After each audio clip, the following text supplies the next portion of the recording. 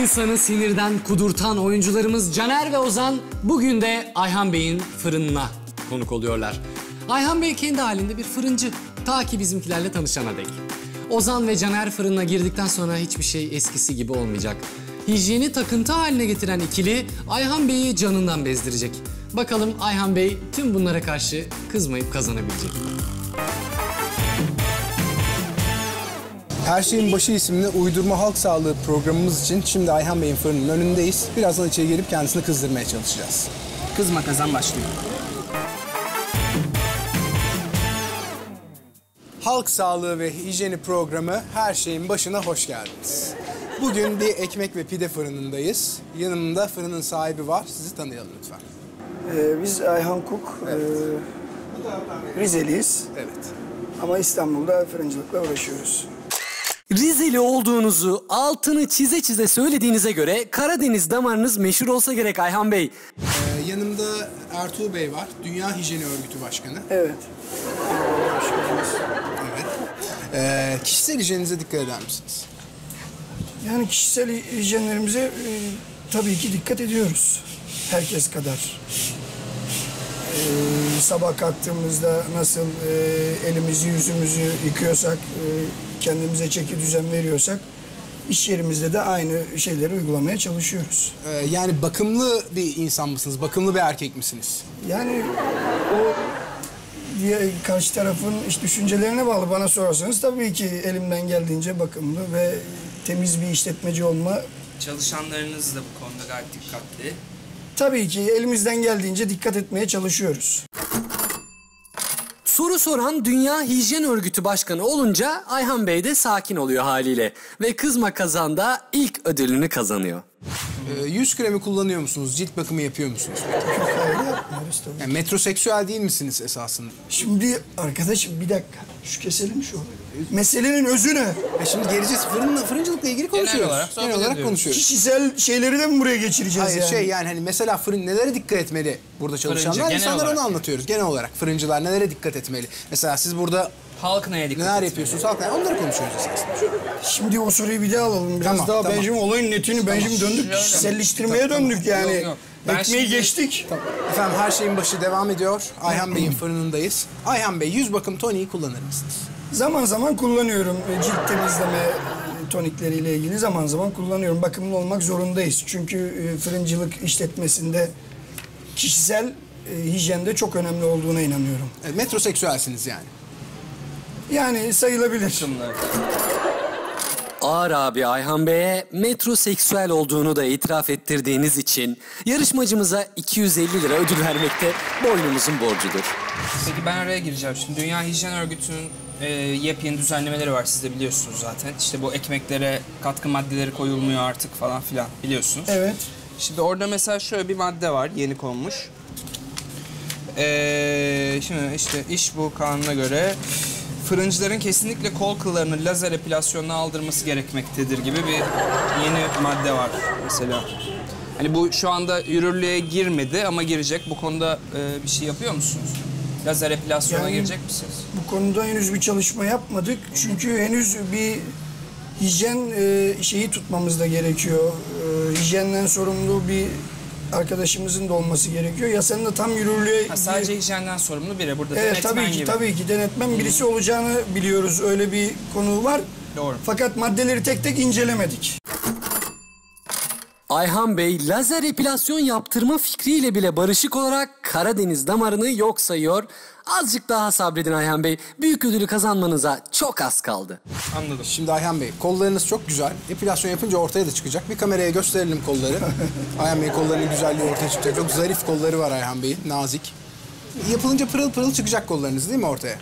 Yani bilmiyorum öyleyse öyledir. Yani bakacağız onu nasıl oluyor diye. Eğer e, eğer e, bu konuyla ilgili bir yasa, bu konuyla ilgili bir O zaman yapalım. tebliğ düzenlenirse biz de ne gerekiyorsa yapmaya hazırız. Tabii ki eğer epilasyonsa epilasyon, temizlikse temizlik, ne gerekiyorsa yapmaya hazırız. Önce hijyen diyoruz. Peki mesela e, yüzle alakalı biliyorsunuz terliyor e, insanlar fırında. Çünkü burası çok sıcak bir yer. Fondöten de biliyorsunuz terlemeyi önlüyor. Evet. Fondöten kullanıyor musunuz? Hayır, e, e, şimdi kullanıyorum desek e, binlerce insanı kandırıyoruz. E, Böyle bir şey kullanmıyoruz. Mesela Kullanamıyoruz. E tabi fondöteni biliyorsunuz özel bir günlere gittiğimiz zaman kullanıyoruz ama günlük hayatta pek fazla kullanıyoruz desek yalan olur. Ah Ayhan Bey ah! Fondötenin ne olduğunu bile bildiğinizden emin değiliz şu anda ama sabırlı davranarak bizden tam bin lira kazandınız bile. Anladım. Peki. Biraz ekmen ekmeğin yapılışıyla Tabii, aslında tabii. sizin de asıl işiniz olan Evet. kısım o. Hani önünüzde bir hamur var. Onu bir bize bir gösterebilir misiniz? Bu nedir? pide hamuru. Gösterirsek kamera. Şöyle buyurun bu pide hamurudur. Ne yapıyorsunuz onunla? Onu da göstereyim. Yani bu sonuçta e, birçok işlemden geçtikten sonra e, buradaki pide halini alıyor. Önce un, maya, tuz olarak su Kaldırıp kameraya gösterirsek. E, şöyle altında Su- kaldırıp elle gösterirsek hamuru. olarak şöyle Evet, kaldırıp gösterelim kameraya. evet şöyle bu kepektir altındaki. Ee, yalnız öyle çıplak elle mi dokunuyorsunuz? Yani sizin söylediğiniz için çıplak elde dokunduk. Normalde böyle bir şey yok. Ben kaldırıp gösterebilirsiniz dedim. Esasında şöyle kaldırın demiştim. Ya siz dokunun dediğiniz için dokundum. Ha, yanlış anlaşılma olmuş ama beyefendi galiba alışık. Normalde dokunmuyoruz. Evet dokunmuyoruz. Güzel. Anladım. Eldiven takmadığını ima ederek fırıncımızın üstüne giden Ozan ve Caner Ayhan Bey'i kızdırmayı hala başaramadılar. Peki mesela bazı fırıncılar işte daha güzel göstermek için içine katkı maddeleri, abuk sabuk şeyler koyuyorlar. Siz de koyuyor musun? Leş gibi Bizi, böyle. hayır bizde kesinlikle yaklaşık e, bu tebliğ 7. ayda yapılan tebliğ var katkıların kalkması konusunda. Biz zaten 5-6 yıldır katkı kesinlikle kullanmıyoruz. Ve bunu bizim dediklerimizde değil bunu bilimsel olarak e, test ettirip Ama çıplak elle dokunabiliyorsunuz. bunu siz dediğiniz için dokunduk. Normalde dokunmuyoruz. Sadece Evet. ben bunu kaldırın dedim ama siz Evet. her şeyi yanlış anladığınız gibi bunu da yanlış anladınız zaten. Ayhan Bey dişlerini sıkıyor. Bu sayede de bizden tam 2000 lira para ödülü kazanıyor. Kollarla alakalı bir çok özel bir konuya geçmek istiyorum. Evet. Şimdi bu kural çıkmadan önce eğer aldım ben pideyi eve gittim. Koldan kıl çıktı. Menemene bandırdığım ekmeğin içinden kıl çıktı. Evet. Mesela burada bu Ayhan Bey'in kılıdır diyeyim aman hadi canım yiyeyim mi demem gerekiyor. Müşteri olarak ne yapmam? Eğer e, hakikaten hamurun içinden öyle bir şey çıktıysa bunu direkt e, ya yetkili kurumlara şikayet edeceksiniz. Gerekli ceza verilsin. Bu Ayhan'ın fırını içinde aynı, Ahmet'in fırını içinde aynı, Mehmet'in fırını içinde aynı. Gelip bunu tabii ki önce e, işletmenin sahibine gelip onunla bir görüşüp böyle böyle daha dikkat etmeniz gerektiğini bir uyarısı vermesi işletme açısından daha önemlidir. Ama hem işletmeci uyarsın hem de onunla birlikte gitsin. Gerekli makamlara şikayet etsin. e, gerekli Şu pideye de dokundu beyefendi. Onu da herhalde satmayacaksınız değil mi? evet satmayacağız. Yarışmacımız sinirli de olsa gülümseyerek tam 2500 lirayı cebine koyuyor. Peki şöyle bir şey duyduk. Siz biraz sert bir mizaca sahipsiniz ve mesela kıl çıktı diye getireni burada yaka paça dövdürtmek gibi bir şey olabilir. Çünkü mahalleden bir şeyler duyduk. Biz birazdan anlatacağım ben bu duyduğum şeyleri. Öyle bir şey yok. Yani Şimdi anlatayım isterseniz Evet. hikayeyi. Ee, bu fırından alışveriş yapılmış. Eve gitmiş, yemiş. iki gün evden çıkamamış. Altlı üstlü sadece tuvalete gidip gelmiş. Ben bu Size gelip şikayet ben bu etmiş, programı de- kabul etmiyorum kesin. Hayır bir dakika şimdi. Hayır hayır öyle bir şey Ayhan yok. Bey, Ben bu programı kabul etmiyorum kesin. Ayhan Bey anlatın ki. Tamam hayır hayır öyle bir şey yok. Anlatın Böyle bir duysunlar. şey yok. Biz burada ben burada öyle normal bir mahalle fırını değildir burası. Evet o, anlatın açıkla. Öyle bir fırın yok, öyle bir şey yok. Siz kendinizden uydurma kelimelerle böyle bir şey Tamam, yapıyorsunuz. Bunu da kabul kavuşsun. etmiyorum ben. Toparlayın. Ayhan Bey açıklığa kavuşsun. Hayır öyle bir şey yok. Hayır, açıklığa Toparlayın. kavuşsun. Toparlayın diyorum kaldırın. Bu iş burada bitmiştir. Tamam.